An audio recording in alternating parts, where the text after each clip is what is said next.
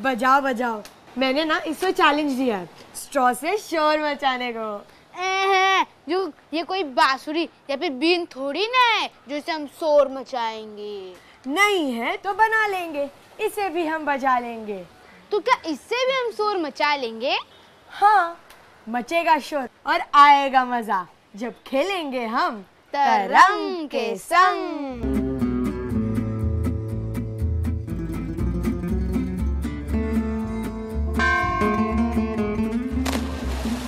शिप्रा नदी के किनारे बसा उज्जैन। प्राचीन काल में यही थी अवंती राज्य की राजधानी। भारत के चार महाकुंभों में से एक है उज्जैन। राजा चंद्रगुप्त द्वितीय, महान विचारक ब्रह्मगुप्त और भास्कराचार्य और महाकवि कालिदास की नगरी उज्जैन। आज खुदबुद की सवारी शासकीय बालिका विद्यालय की ओर। यही होंगे खेल विज्ञान के ओके सब लोग खेलने को तैयार? क्या हम मुँह बंद करके आवाज़ निकाल सकते हैं? कैसी आवाज़? हम्म, मुँह बंद करके गुनगुन। लेकिन अगर नाक हो बंद तो? तो क्या होगा बोलने पर असर?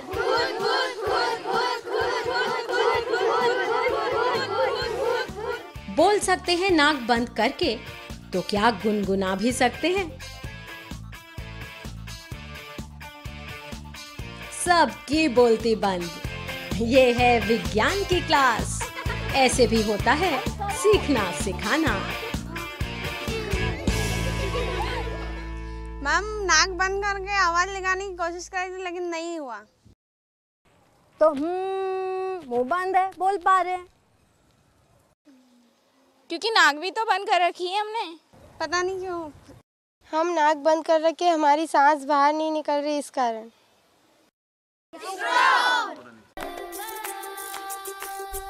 स्ट्रॉ ही बताएगा सांस मतलब ध्वनि का हवा से रिश्ता।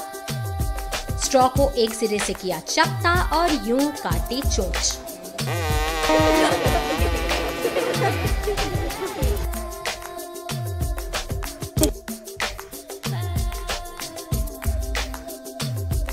कौतूहल जगाने का खेल, खुद बुद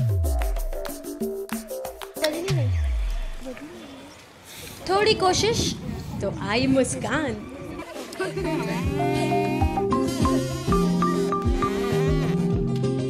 कटे हुए सिरे को मुँह में डालकर होठों से थोड़ा दबाना है। फिर खेल खेल में बुद्धि को दौड़ाना है।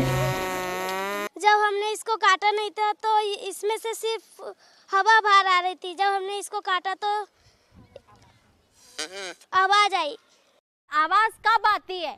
जब कोई चीज़ बसती है टकराती है। क्योंकि हमने इसको काट लिया और फिर ये दोनों ऐसे यूँ करके यहाँ क्या हो रहा है? हिल रहा है। इसके अंदर से तरंगे जा रही थी इसलिए आवाज़ आ रही थी। फूंक मारने पर अंदर से तरंगे ही जा रही थी। स्ट्रॉ की कटी हुई चोंच कर रही थी कंपन। आगे पीछे और कर रही थी हवा से धक्का मुक्की। तो भूख रोकने पर होगा क्या? जब नाक बंद करते हैं तब हवा बाहर नहीं आ पाती इसलिए।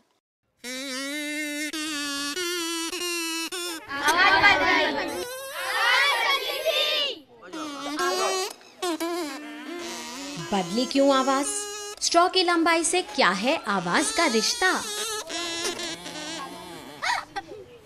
स्ट्रो को काटते जा रहे हैं तो इसकी ध्वनि बदल रही है। जब हमने इसको काटा तो इसकी हवा कम होने लगी। क्योंकि ये घटता जा रहा है और ध्वनि पास आती जा रही है। ध्वनि का रिश्ता हवा के कॉलम की लंबाई से ही इसी पर टिके सारे वाद्य। फूकने पर अंदर की हवा करती है कंपन बनती है ध्वनि तरंग। तरंग की ऊर्जा कितनी मतलब सुर कौन सा? निर्भर नली के अंदर हवा के कॉलम की लंबाई पर। अब सबके पास स्ट्रॉ हो सकता है? तो फिर क्या जिनके पास स्ट्रॉ नहीं है वो शोर नहीं मचाएँगे? कैसे? चिल्ला कर नहीं हम तो बनाएँगे साधारण कागज़ से बाजा। पेंसिल पर कागज़ लपेटकर नली। ध्वनि पैदा करने के लिए यहाँ काम आएगी मामूली प्लास्टिक की पन्नी। वो चिपकेगी कैसे, आप खुद देख लें। पन्नी की तरफ़ से मुँह के अंदर फूंक मारने पर वो ही तो हिलेगी और मचेगा शोर।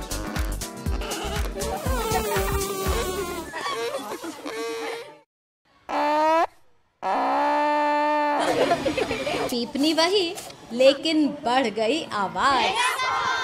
हेलो हेलो हेलो हेलो चीज़ थोड़ी बड़ी होगी इसीलिए हमारी आवाज़ तेज जा सकेगी। बढ़ाया उसको तो जगह भी बढ़ गई और आवाज़ भी तेज़ी से आने लगी। हमने मंदिर पे देखी है। हेलो हेलो हेलो मैं तो समझ गई कि आवाज़ सारे दिशा में फैलती नहीं है बल्कि सारी तरंगे एक ही दिशा में जाती है। और आवाज़ में ज़ोर से सुनाई देती है। मेगाफोन। आवाज़ की तरंगों को इधर उधर फैलने नहीं देता, बल्कि एक ही दिशा में आगे बढ़ाता है। इसीलिए आवाज़ तेज सुनाई देती है। यही है एम्प्लीफिकेशन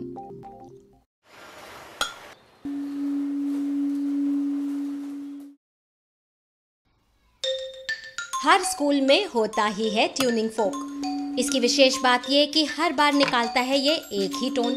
तरंग रहती है वैसी ही। इसीलिए काम आता है सुर मिलाने में। ट्यूनिंग फोक के कांटे आगे पीछे हिलते हैं। उनके कंपन से आसपास की हवा को मिलती है धक्का मुक्की। आगे पीछे होती हवा में बनती हैं तरंगे। ये ऊर्जा देखने का जुगाड़, बोतल पर तना गुब्बारा और राई। जब हम इसको ऐसे मारते हैं और यहाँ पर छूकते हैं तब है ना इसमें झुंझनी आती है और इसको टच करने से उस राई गिर जाती है। अगर मैं ऐसे बात करूँगी तो आप लोग मेरी आवाज़ सुनने को क्या करोगे? कैसे? तो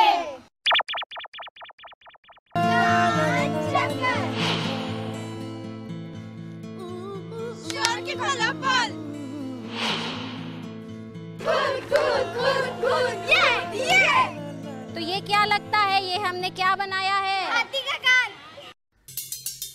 हाथी का कहो या कहो हमारा कान। आज बनाना है यही। समझना है कि वो काम कैसे करता है। तरंगों के इस खेल में मिला है बिल्कुल एक जैसा सामान। सब आसानी से मिलने वाला।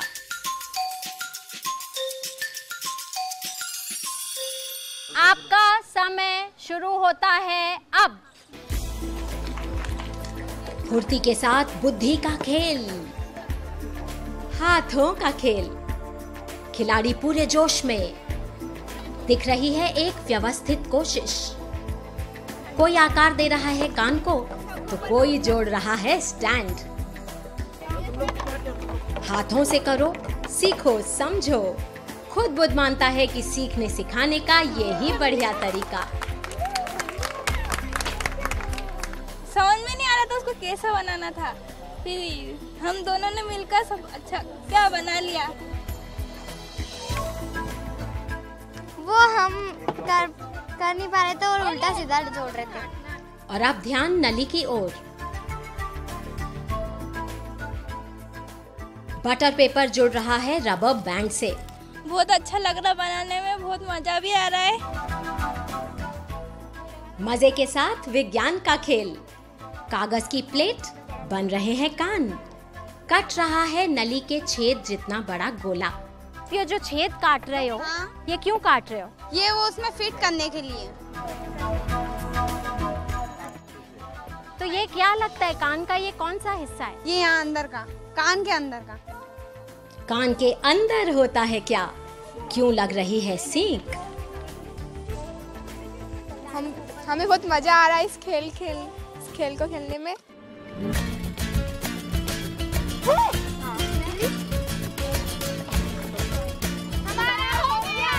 मॉडल तैयार तो नोट्स जो ज़रूरी समझ को व्यवस्थित करने के लिए।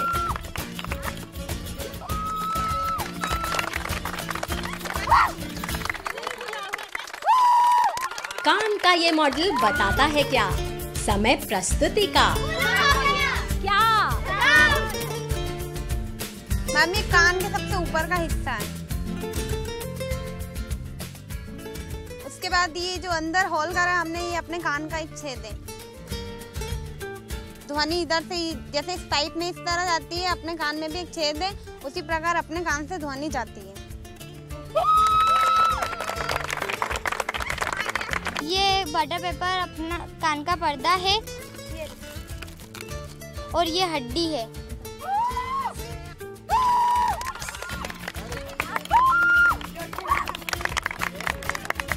तरंग होती है ध्वनि में। ये सबसे बड़ी बात हमें समझ में आई आज। तरंग को आ, आगे पहुँचने के लिए माध्यम चाहिए। बाहरी कान ध्वनि रोकता है। अगर हवा नहीं होगी तो हमें सुनाई नहीं देगा। क्यों? क्योंकि उससे ही ध्वनि की तरंगे हमारे कान तक पहुँच पाती है। अगर हम चाँद पे जाते हैं तो हमें एक दूसरे की आवाज़ सुनाई नहीं दे सकती क्योंकि वहाँ हवा कम होती है। आज के खेल से सबसे बड़ी बात यह सीखी कि ध्वनि में तरंगे होती है। अनोखे कान। ध्वनि तरंगे कान की नली से होती हुई गिरती है कान के पर्दे पर। ईयर ड्रम जिसके कांपने पर हिलती हैं कान की हड्डियाँ। तीन बहुत छोटी छोटी हड्डियाँ जो कान के अंदर एक द्रव्य में तरंगे बनाती हैं। ये संवेदना नर्व्स ग्रहण कर पहुँच है मस्तिष्क तक। हेलो हेलो सुनाई दे रहा है? हाँ बहुत अच्छे से सुनाई दे रहा है। अगर हमारे इतने बड़े बड़े कान होते तो, तो हम कितना सुन सकते थे? कान बड़े होते तो ध्वनि हम ज़्यादा पकड़ पाते। तो क्या तरंगे सिर्फ़ ध्वनि की ही होती हैं क्या? बिल्कुल नहीं तो तरंगों का खेल आगे बढ़ाते हैं फौलादी शहर में।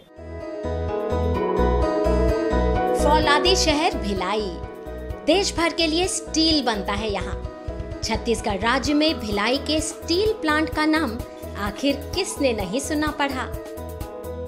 आज भिलाई के एक बड़े स्कूल कृष्णा पब्लिक स्कूल में होगी विज्ञान की खुदबुद।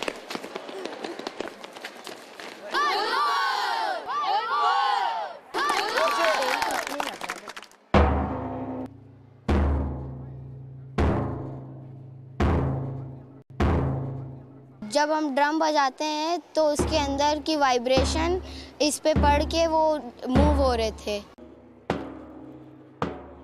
उसका जो वाइब्रेशन बाहर आया, उसके चलते वो माचिस की जो तिलिया थी, वो ऊपर उठी। ध्वनि एक कंपन, ऊर्जा, जिसकी तरंग आगे बढ़ती है। यहाँ तो ये सब जानते हैं। तो हम खेल आगे बढ़ाते हैं, एक और तरंग के साथ।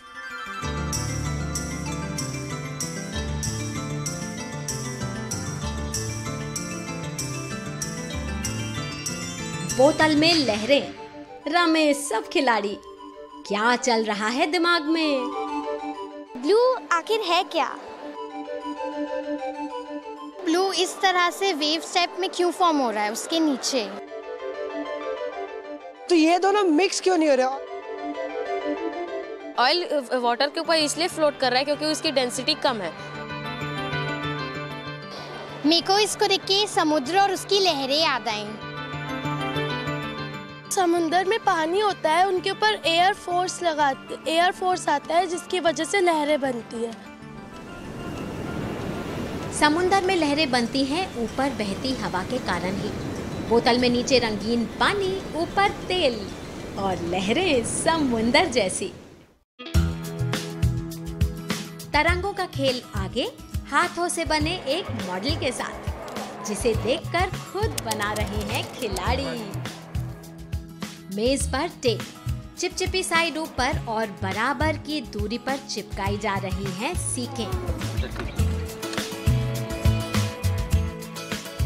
ऊपर नीचे लगे टेप से बना खिलौना हो रहा है तैयार।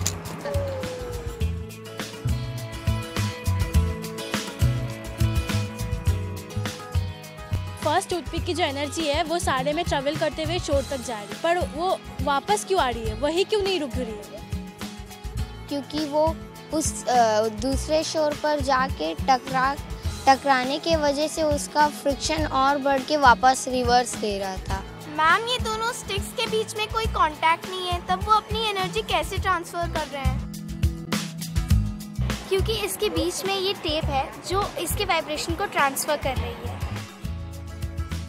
फ़र्स्ट जब हम प्रेस करते हैं एक टूथपिक पर तो वो हर एक टूथपिक से होते हुए जाता है। और जब वो आगे जा रही है तब वो ऊपर नीचे ऊपर नीचे की तरह वो आगे बढ़ रही है। और फिर सेम वही दूसरे एंड से भी हो रहा है जिससे वो लहर फॉर्म हो रही है। सीकों की लहर लहराई तो समुंदर की बात साफ़ समझ आई। नाव पर दे ध्यान वो ऊपर नीचे होती है जबकि लहर बढ़ जाती है आगे। मॉडल मुझे बहुत अच्छा लगा क्योंकि वो पूरा एक्सप्लेन कर रहा है कि सी वेव्स का मोशन कैसे होता है सी वेव वर्क्स कैसे वर्क कैसे करती हैं। खुद बुद्ध देता है मन मर्ज़ी प्रयोग की आज़ादी। बच्चों ने मांगे रबर के टुकड़े और खेल बढ़ाया आगे। क्या चल रहा है इनके दिमाग में? एक तरफ़ से हिलाने पर ऊर्जा बढ़ती है आगे। सीखे वहीं की वहीं, ऊपर नीचे। और अंतिम सिरे से लौटती हैं वापस तरंग। एनर्जी जो है ट्रैवल करती है हमने ये सबसे बहुत सारे एग्ज़ाम्पल से ये सीखा है। ये सीखा कि एनर्जी या फिर वाइब्रेशन हमेशा किसी चीज़ में ट्रांसफ़र होके अपने एंड पॉइंट में जाती है और वापस एनर्जी रिवर्स ले आती है।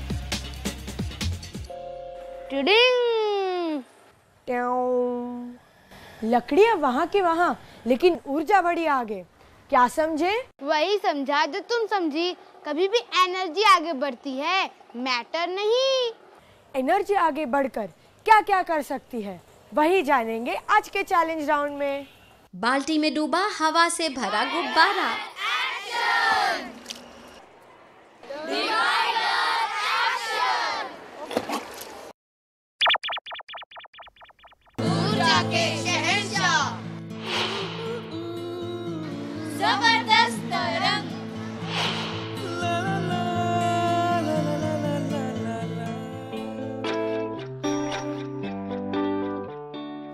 टीमों का पहले सामान से परिचय।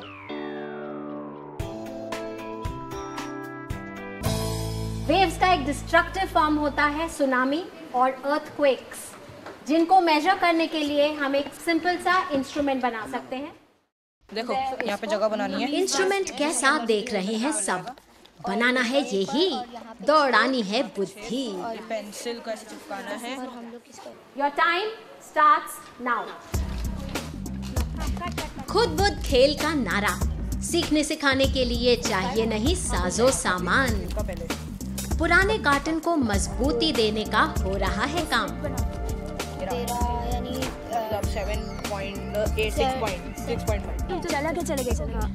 नाप क्यों ज़रूरी? समझ गए ना? पेन को किस लंबाई तक लटकाना है? वही है इस खिलौने की बुनियाद। बस बेस्ट है बहुत बड़ा हो गया। निकालो। दोनों टीमें पूरे ध्यान से कर रही हैं काम।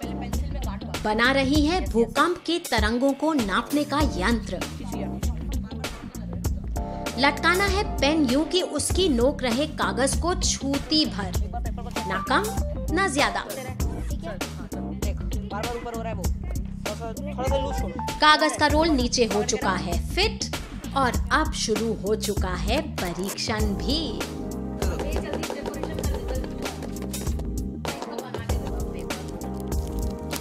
हम लोग इसको हिलाएँगे तो ये अर्थ का काम करेगा और ये हिलेगा। Yes. समय प्रस्तुति का। यही तो बताएगी कि क्या क्या खुले हैं भेद खुद बुद। तो जब भी हम इसको हिलाएँगे तो फिर ये उस एक एज ए रिक्टर स्केल काम करेगा जो कि बहुत ही उपयोगी होगा। जब अर्थ की सरफेस शेक होती है तो वहाँ पे आ, इसका एक ग्राफ निकाल जा सकता है। मतलब बहुत ज़्यादा शेकिंग है अर्थ की तो इसलिए बड़ा अर्थ क्वेक है। और जब वो छोटे से ऐसे इट जस्ट मूव्स तब वो पता चलता है कि वो कम है अर्थ क्वेक एंड उसकी इंटेंसिटी उसके ट्रेमर्स कम है। क्योंकि ज़मीन के अंदर क्रैक्स रहते हैं वहीं से उसको बाहर निकलने का एक जगह मिल जाता है। हमारी पृथ्वी की सतह बनी है बहुत सी प्लेटों के मिलने से। जब ये प्लेटें आपस में घिसटती हैं या टकराती हैं तो आते हैं भूकंप। ये ऊर्जा लहर के रूप में सब तरफ़ फैलती है और हमें महसूस होते हैं झटके। तरंग की ऊर्जा नापता है सीस्मोग्राफ यही यंत्र बताता है कंपन का पैमाना।